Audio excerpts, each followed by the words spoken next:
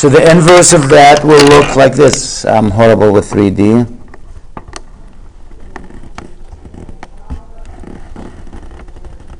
It will look like this. This is the inverse, we'll call it g sub x, which is equal to the inverse of f.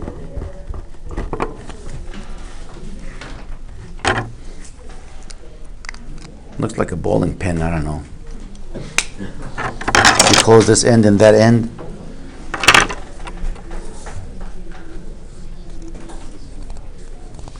So what our book is saying, if f,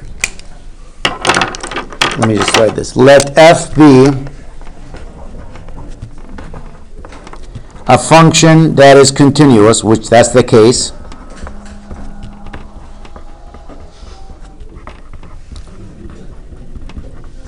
Somebody's stomach there. Hungry there. On the interval from here to there, you know, during that segment, which is continuous. If f has an inverse, which in this case it does,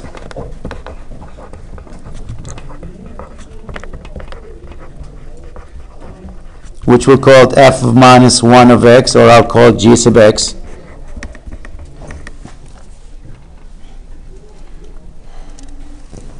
Then the following are true.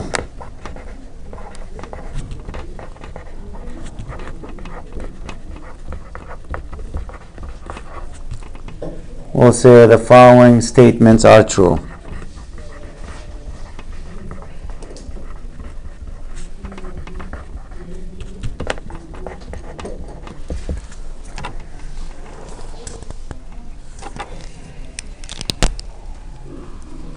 First one, it's just by looking at it. If f is continuous,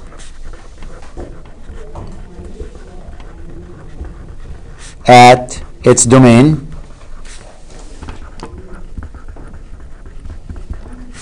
then g, which is the inverse function, is also continuous.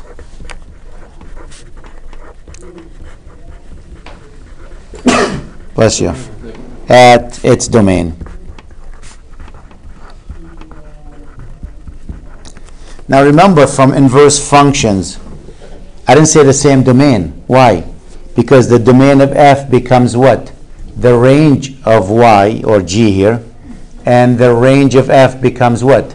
The domain. So the x value for the function becomes the y value for the, infer- the inverse. The y values for this become the x values for that one. So that's the first statement. The second statement also, if the function is differentiable, which means has a derivative, if f is differentiable,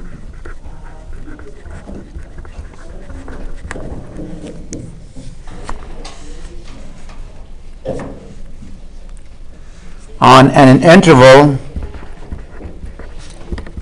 on a section, any section that contains a point um, containing the point C here, and the derivative at C does not equal to zero. You'll see in a second why that can't be zero. Then the inverse,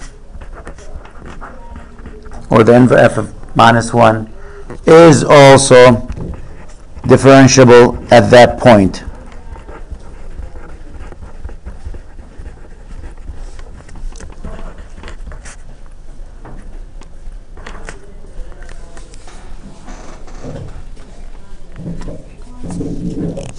At f of c, the y value, not c actually, really, f of c.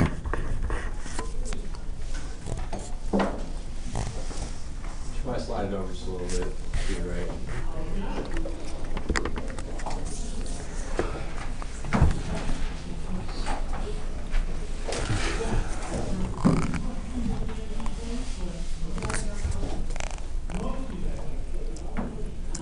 And if you want to find out, I'll even put the third condition. If you want to find the derivative of the inverse function, that's where we're going with. We'll do one example that has all these in it. the derivative of the inverse function is 1 over the derivative of f at g sub x.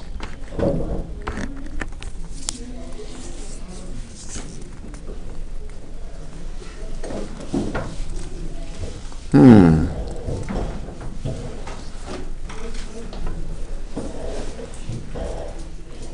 Let me go back to this function. Is this function continuous?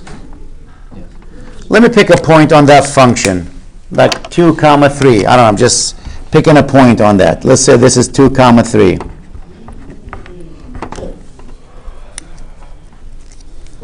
It says if the function is continuous, the inverse continuous. That's the first statement. We see that. If the function has a derivative at that point,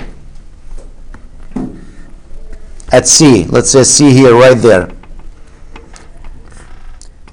and that value, the derivative, which is the slope of the tangent line, we know that's not a zero, right?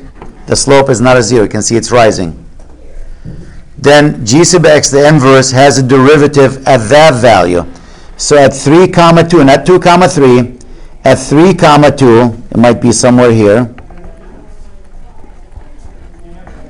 this function also has a derivative. That's what that means. Notice 2, 3, this is 3, 2 backward, at that value. C is 2, the, der- the y value is 3. It says this function g at 3 comma 2, when x is 3, the y value is going to be 2. That's what the inverse. The 2 becomes the 3, the 3 becomes the 2. The g at 3 will have a derivative 2. And to find the derivative for any point on that, we can find it by taking this one.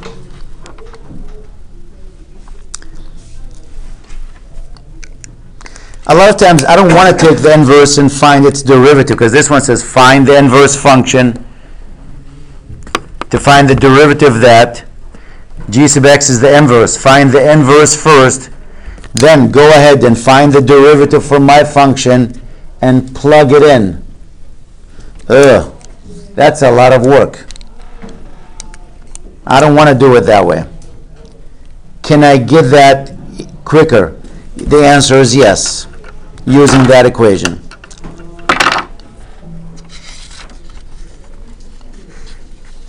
But let's take an example first, go through it.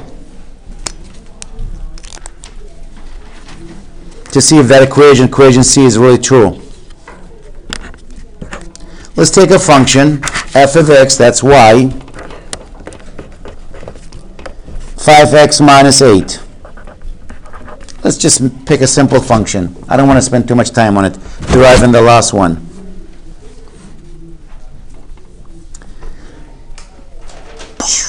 Well, let's make it 5x squared, I don't know, minus 8, that's fine. But not be one to one. Uh, I can define that from 0 to 1, you know? It'll be 1 to 1, you know? Because otherwise, the inverse of that is not really a function. I can go, this is from 0 to 1. Because when you graph that, it will look something like this. If you're looking at one side, 0 to 1, I don't know where the 1 is going to be. Right there. We're looking at that little piece, just right there. So the inverse of that should be a function. What's the derivative of that? 10x. Now, if I want to find the inverse function, what's the inverse function?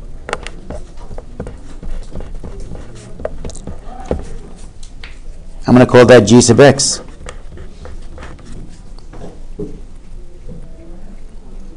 Well, to find the inverse function, how do we do it? We let y equals 5x squared minus 8. If you remember three steps, change f of x to y, interchange x and y,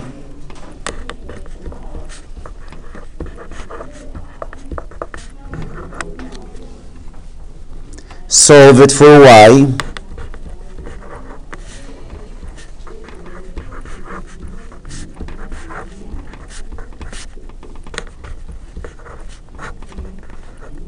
and what is y equal to? If you want, you can make that 1 fifth x minus 8 over 5 to what power? Isn't that the 1 half?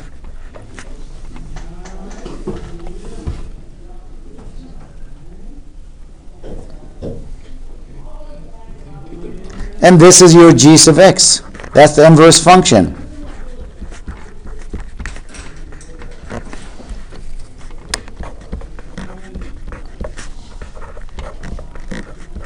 That's plus? Is when?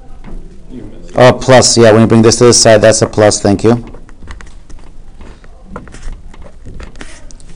To the one half. My question is, or my, I'm trying to prove that the derivative of the inverse, or find the derivative of the inverse, and I want to prove I can find it by using this equation.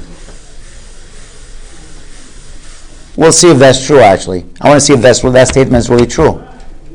So what's the derivative of the inverse? This is the inverse function. Can I take the derivative of that?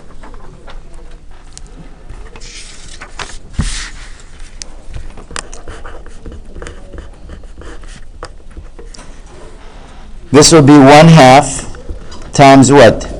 1 fifth x plus 8 over 5 to the power of what? Negative 1 half times the derivative what's on the inside. What's the derivative 1 fifth x plus 8 over 5? 1 fifth. So when you clean it, that would be 1 over 10 times the square root of 1 fifth x plus 8 over 5. If you don't like the way that looks, you can make it 1 over 10, the square root of x plus 8 over 5. Like this.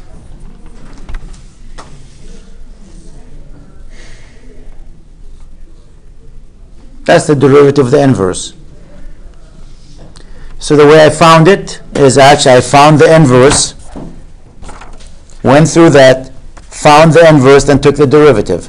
Well, that's a lot of work. What I'm going to show you next, not really much easier. This one says you can take, actually find the derivative by using this method. Which is what? Let's see if it gives me the same answer. Let's see, what is 1 over f prime of g sub x?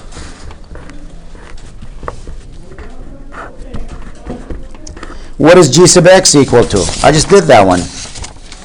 g sub x is this one. Right? x plus 8 over 5, take the square root of that. See that?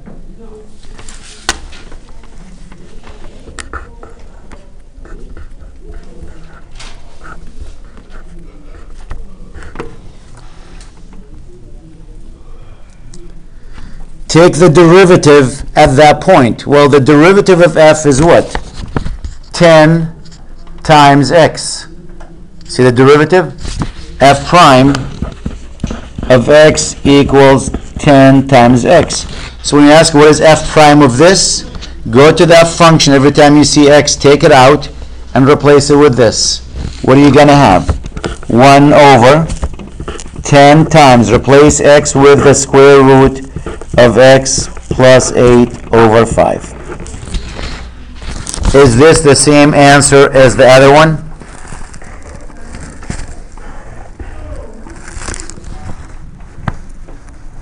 Yes. You're saying, well, it's still a lot of work. You still got to find the derivative. You got to find the inverse. You're right. But if they ask me at a point, I don't have to find the inverse. Watch what I'm going to do next now. I just want to prove that this statement is true. Now, we just proved that this is true, that's true, this is true. Let's use that one to find the derivative at a point. Then from there, I'm going somewhere with it.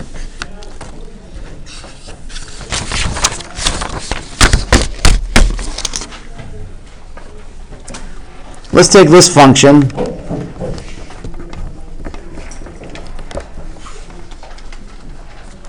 One fourth x cubed plus x minus one.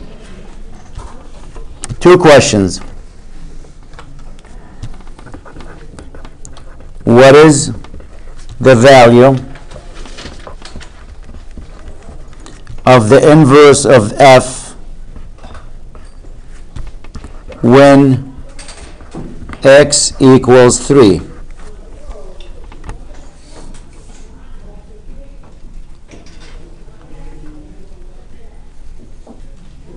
That's the first one.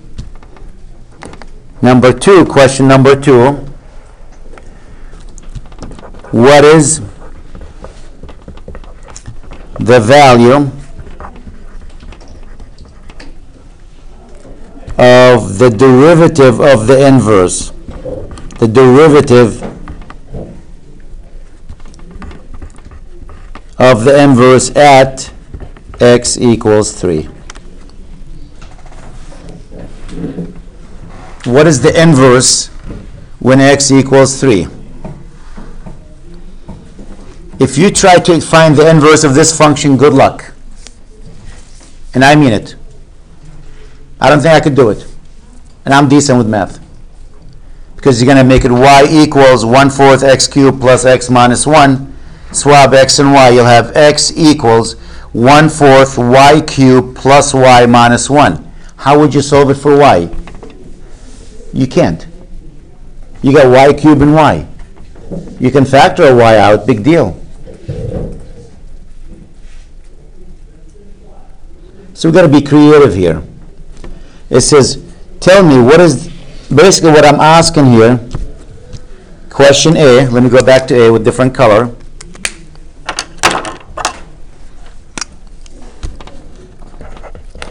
I'm asking what is the inverse at 3? That's what I'm asking for. Can you tell me what that answer is when x is 3? Well, remember with inverse function, the domain here of the function becomes what? The range for the inverse. The domain for this is the range for that. So when we ask you what is the inverse at 3, all I'm asking, what value of x? That if you plug it in, the answer is 3. Because the domain is 3 for the inverse. I mean, that's the domain. Then we should equal the range of the function.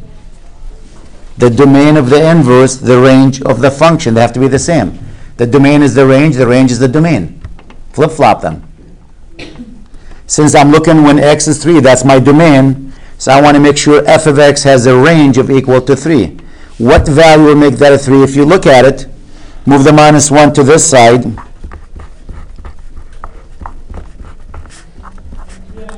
And if I look at it, it looks like 2 is the only one. Notice when x is 2, just look at it. What's 2 cubed? Isn't 2 cubed 8? 8 divided by 4 is what? 2 plus 2? 4. So x will have to be 2. So the question now, what is the inverse function at 3? That's equal to 2. Now, we answer that.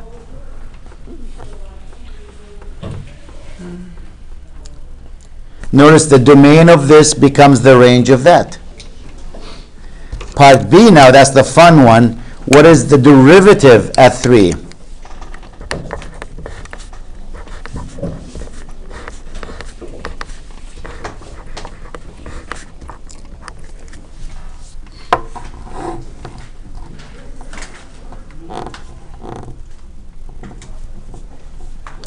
Well, if you remember that equation, where is it?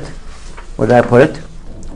The derivative at any value is equal to, let's plug in here, based on this equation is equal to 1 over the derivative at g sub x, isn't that the inverse?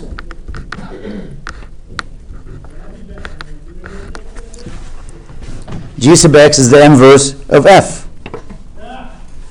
So it's the derivative at the inverse of 3.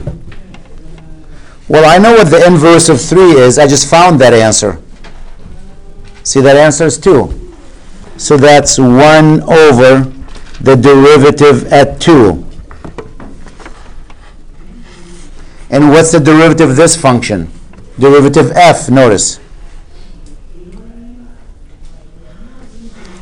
The derivative of f is what? 3 over 4. This will be 3 over 4x squared plus 1. You want to find the value at x equals to 2. When x is 2, what do you have? 2 squared is 4 times 3 over 4, that's 3, plus 1, that's 1 fourth. So what is the derivative of the inverse function at 3? It's 1 fourth. Did I have to find the inverse function? No. I didn't have to find the inverse function or take its derivative. I use the shortcut here. If you want to find the derivative of the inverse, it's 1 over the derivative of the function at that value.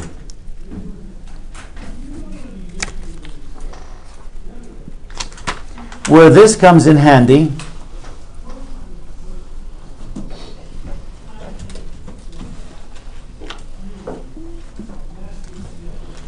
I'll do another one here.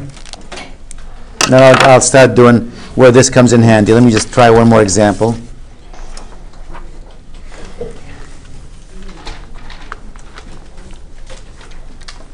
Again, take this function f of x equals x squared. Again, if you take the inverse of that, it's not a function, so I have to put some restriction. x is greater than 0. That's a one-to-one function now. And if you graph that, it's a parabola, you know what it looks like. It will look something like this. You know, it keeps going.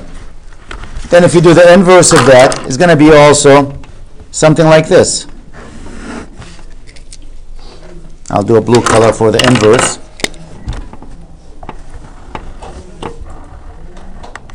Looks like a fish now.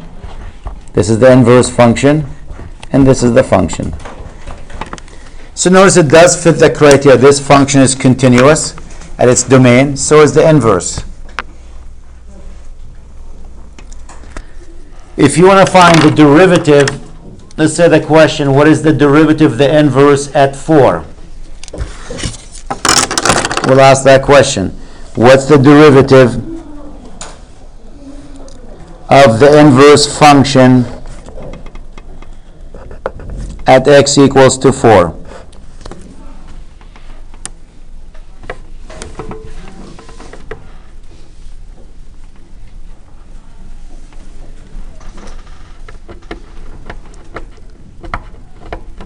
Well, according to the shortcut, it says 1 over the derivative of f at the inverse of function at 4.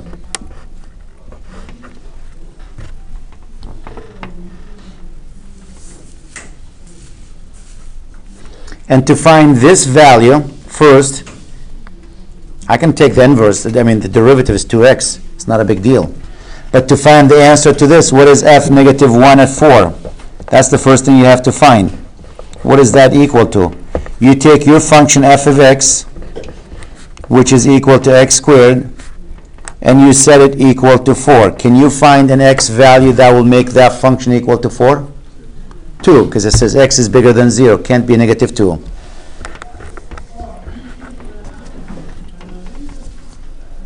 So you want to find the derivative now at 4? It's 1 over the derivative of f. What's the derivative of f? 2x at x equals to 2.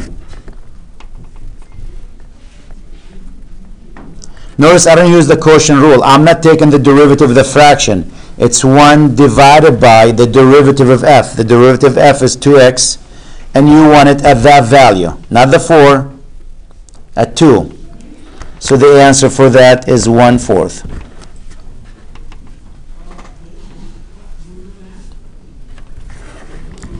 And if I asked you what's the derivative of the inverse at 9,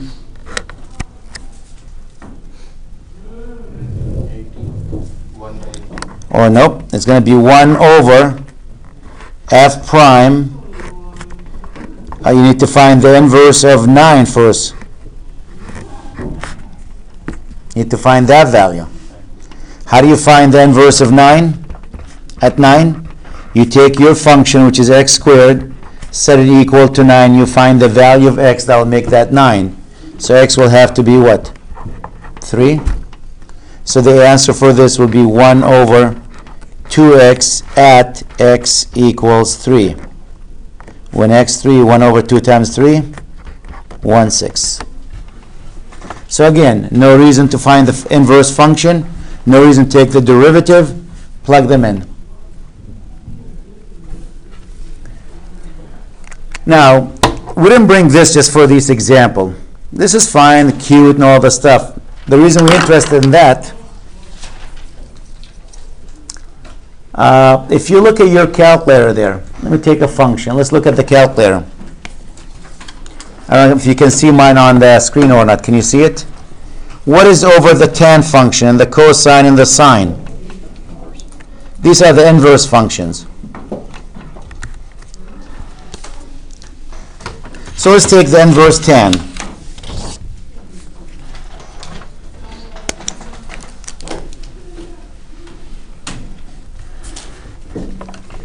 f of x equals the inverse tan. Now, with, with trig function, we never, we write on the calculator tan to the minus 1. But a lot of people get confused. Is that a power or what? So a lot of times to avoid that, we go arc 10. That means the inverse of tan. Arc 10. The inverse of tan. Arc sine, arc cosine, arc secant. So arc means the inverse.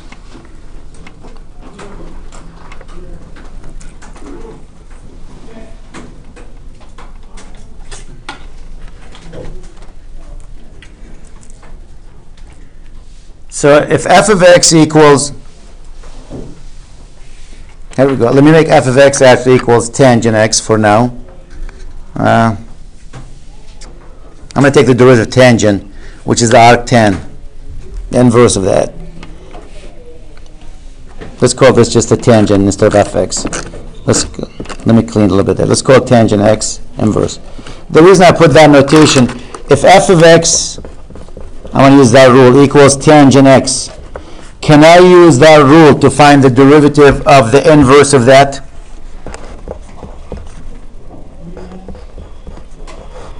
What's the derivative of the inverse? Which is really the derivative of the arctan. That's what I'm trying to find, trying to derive what that is. Because I know the inverse of f of x is the arctan.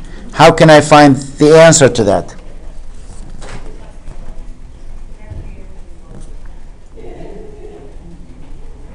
Well, according to this rule, what is that rule? It's 1 over f prime of arctan.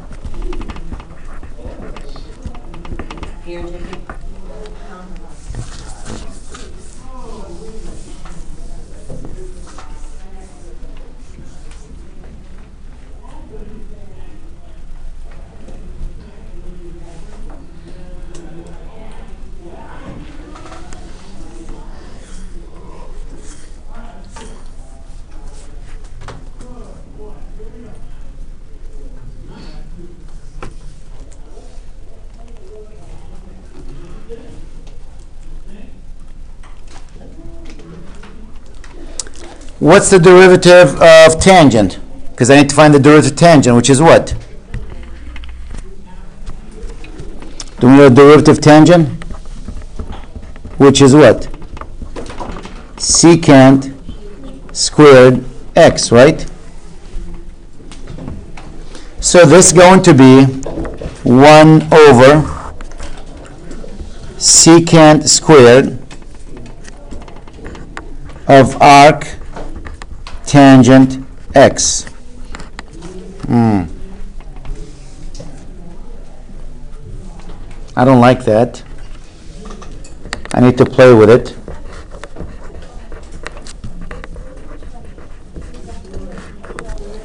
Look on the board. Secant square is equal to what? Isn't that tangent square plus 1? Can you see that? Secant square theta equals tangent square theta plus 1. So if I use that trig identity, this will be tangent of arc tangent. Don't forget to square it, because it says square it, plus the 1.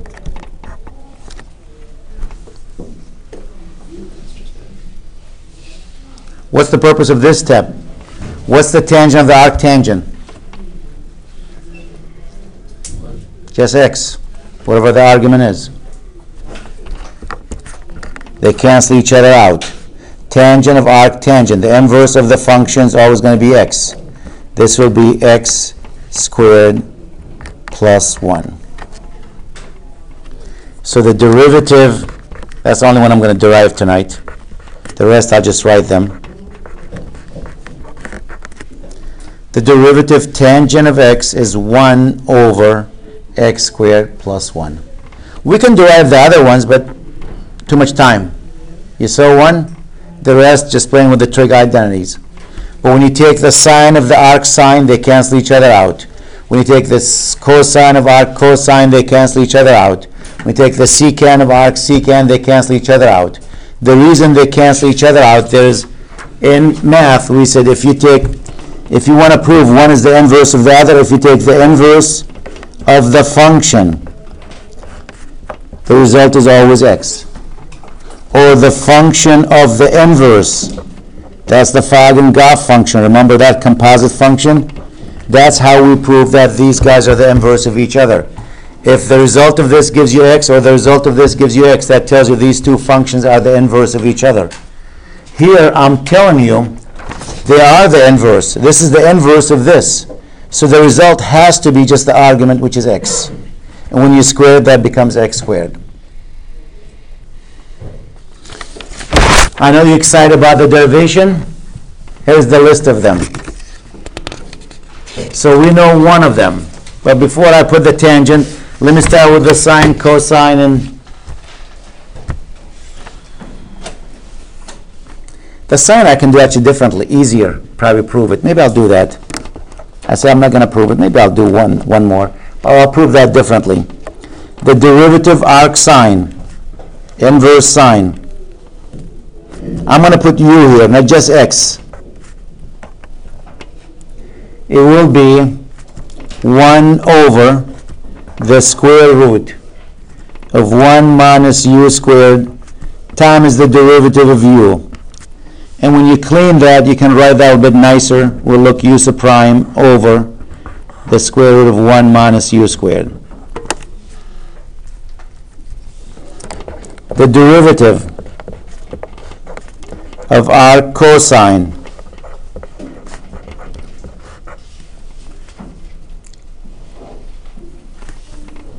just like the arc sine, all the ones with COs has a negative value.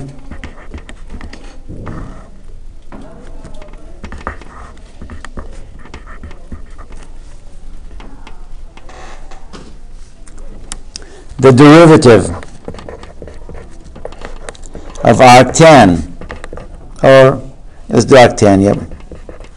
We just did the tan, we said what, 1 over x squared plus 1? Well, if it's a u, it will be what? u prime over 1 plus u squared or u squared plus 1. It's up to you how you want to write it. Because when you're adding, it doesn't really make a difference which one you write first.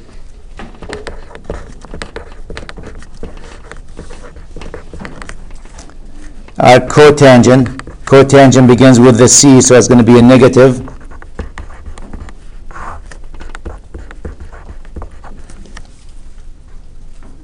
We get the secant, the cosecant.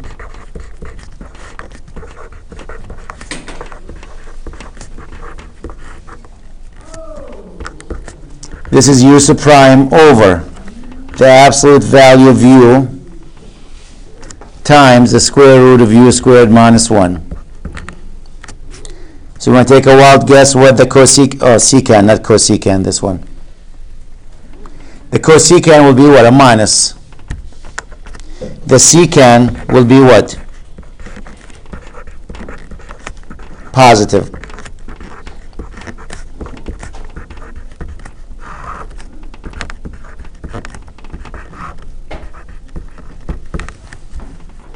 So all the ones begin with C, they're going to be negative values, all the other ones positive. These two the same, except the minus sign. These two the same, except the minus sign. These two the same, except the minus sign. So it looks like six of them, but there are really three of them, and the other three are negative values. All the ones with the C are negative values.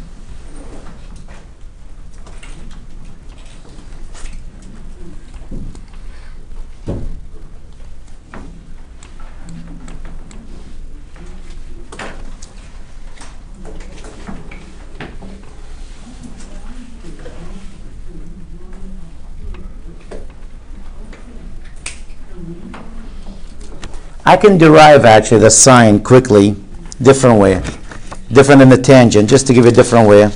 Then this will be the last time I will derive them. I don't even want to derive this way, but I'll show it to you. If I give you, let y equals arc sine of x, and the sine to be a one-to-one function, if you remember, sine of x will look like this, right? So this is good from negative pi over 2 to pi over 2. Because I want it to be one-to-one function. I'm only looking at that piece. Can you see that little piece? That's a one-to-one function. And I want to derive what the derivative of that dy dx. We know if I memorize the equations, we know from this one the answer is what? Since this is x, that would be 1 over the square root of 1 minus x squared. But I'm going to derive that. And I don't know much about arc sine, so I say, you know what? I know from trig, I took tech math, and if I take the sine of both sides,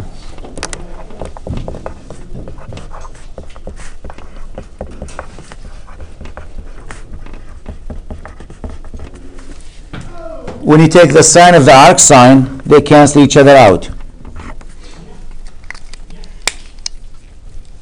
So sine of y equals x. And really, wh- what that means is you have an angle. If you look at the trig here, you have an angle. I'm going to derive that to y. It's that value. This angle is called y, and the sine is x. That's x over what?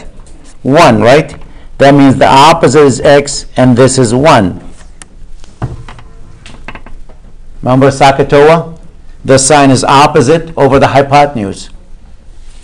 Can you find this side? Pythagorean's theorem. It's going to be the square root, if you do Pythagorean's theorem, of 1 minus x squared.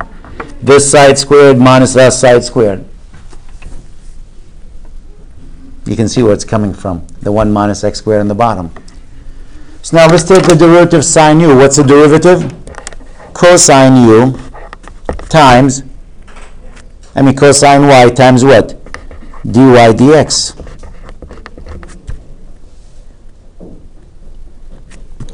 Equals 1. What's dy dx? It's 1 over cosine of y. And when you look at this one, what is cosine of y? Isn't that the adjacent over the hypotenuse? The adjacent is what? 1 minus x squared, the square root of that, divided by 1.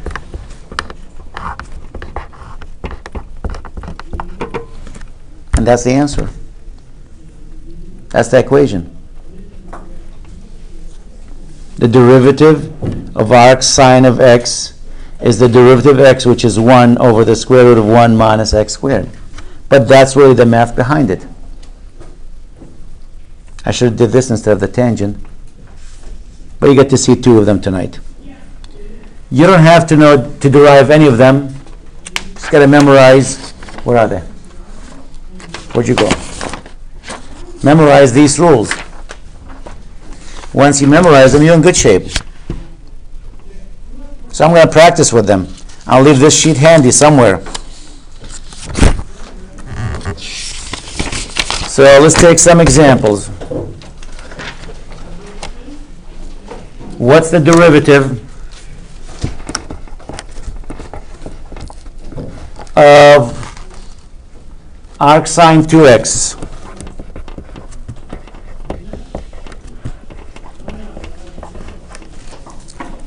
Now remember, this is your u here. So the derivative arc sine is what? u bar over the square root of 1 minus u squared. Plug it in. What is u prime? 2 over the square root of what? 1 minus, what is u squared? 4x squared. And you're done. That's it. One step.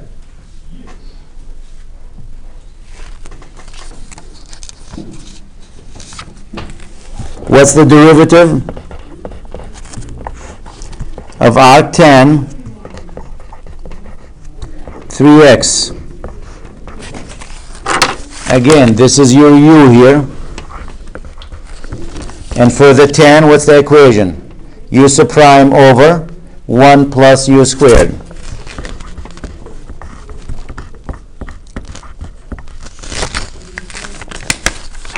What is u prime here?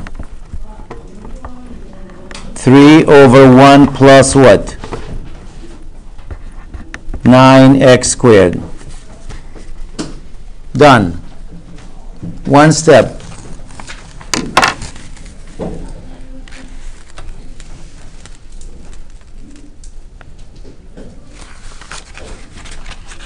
How about the next one? What is the derivative of arc? What do you want? Cosine? The square root of x. This is u. The answer to that negative u prime over 1 minus u squared. The bottom is straightforward. 1 minus, when you take the square root of x and you square it, that's just x. But what's the derivative of the square root of x? That's x to what power? 1 half, so it'll be 1 half, good. x to what power? Negative 1 half. So when I clean that,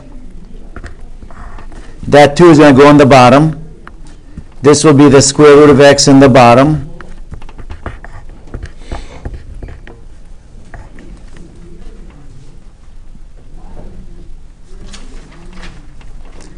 Uh, with the minus sign, right? I left the minus because there's a minus in the front. And the only thing I can do if I want to multiply the square roots together, this will be what? x times, distribute that, x times 1 is x, minus x times x, x squared. That's what as far as you can go with it. You can't multiply the 2 unless you bring it inside, make it a 4. But not much you can do with it. I'll do one more. And we'll do arc secant. e to the 2x.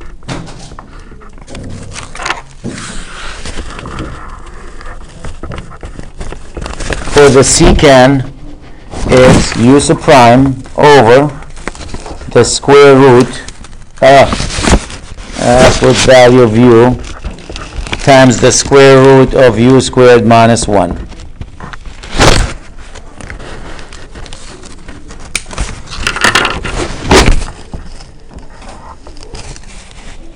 e to the 2x. Notice I didn't put absolute value. Why? It's always a positive value.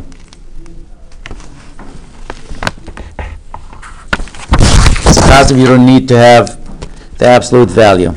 Square e to the 2x. What's e to the 2x times e to the 2x? e to the 4x. When you multiply, you add the exponent. 2x plus 2x is 4x minus the 1. And what is the derivative of e to the 2x? Very good. 2e to the 2x. It's e to the 2x times the derivative of this, which is 2. Does anything cancels out? Look at e to the 2x here. Same thing. So I end up with 2 over the square root of e to the 4x minus the 1.